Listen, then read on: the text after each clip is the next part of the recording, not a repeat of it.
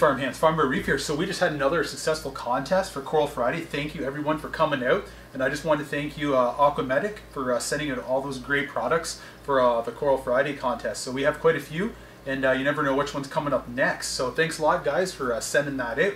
So we have two uh, finalists that made it on to the next round, got your names in the generator. I just posted up in my club, that's Randy and Don, congratulations, you've made it this far. And you guys have some great eyes. You end up, you're right, it is a Canon lens cover. I had to give you guys this one because a lot of people said, oh, we see a sticker, but you guys actually said it's the actual Canon lens for my camera, so good eyes, guys. And uh, this was a scavenger item, and the code word was plating. So you guys got everything right. So now you guys are in the name generator.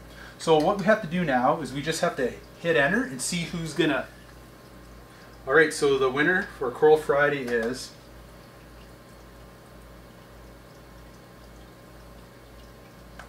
Don Elder.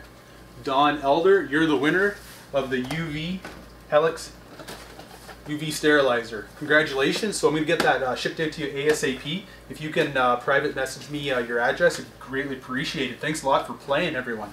So to make sure you guys want to get in on all these great contests, you have to join my club on Facebook. I'm going to leave all the links below. So if you're uh, some of my subscribers, I play all my contests uh, in my club. So hopefully you guys can come in and join and all the fun. All right, so hopefully everyone had a great time. So have yourself a great weekend, guys. Bye.